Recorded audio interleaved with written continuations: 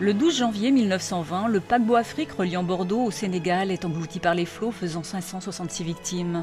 Ce naufrage, l'un des plus meurtriers de l'histoire de France, se produit à quelques kilomètres des côtes de la Charente-Maritime. 90 ans après, ce film révèle comment les descendants des naufragés se sont pris à enquêter d'eux-mêmes sur ce qui s'était réellement passé. Mémoire de l'Afrique, ce samedi à 15h20 sur France 3, Pays de la Loire.